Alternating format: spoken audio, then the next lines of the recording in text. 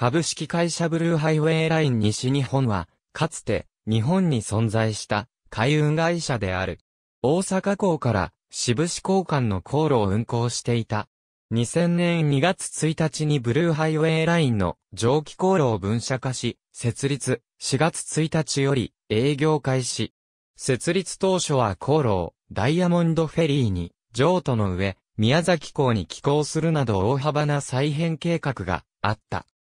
2006年10月に、採算悪化のため、渋市航路を廃止した上で、大阪宮崎間の運行とすることが計画され、燃料費を約3億円削減する見込みとして2007年4月1日から実施の予定だったが、宮崎港への移転に関して、従来から大阪宮崎間の航路を運行している、宮崎カーフェリーとの使用岸壁の協議がまとまらず、2006年12月には、就航予定時期を2007年10月1日へ変更した。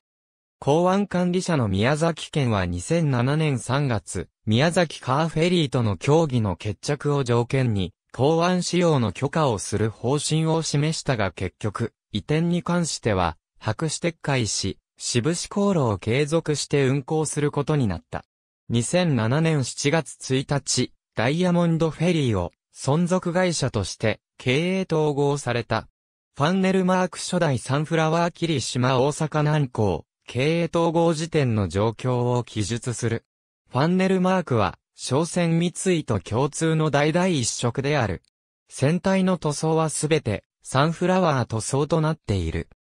なお、太陽をかたどったデザインは、サンフラワー共通のものだが、船体側面の白地の部分に引かれた青線は、ブルーハイウェイライン時代から引き続いており、同社から派生した商船三井フェリーの船と共通の特徴であり、青線のない関西汽船とは違ったものとなっている。経営統合時点の状況を記述する。ABCD ダイヤモンドフェリーとブルーハイウェイライン、西日本との合併商船三井、ブルーハイウェイラインニュース、インターネットアーカイブ、ハットブルーハイウェイライン、西日本会社概要。インターネットアーカイブ。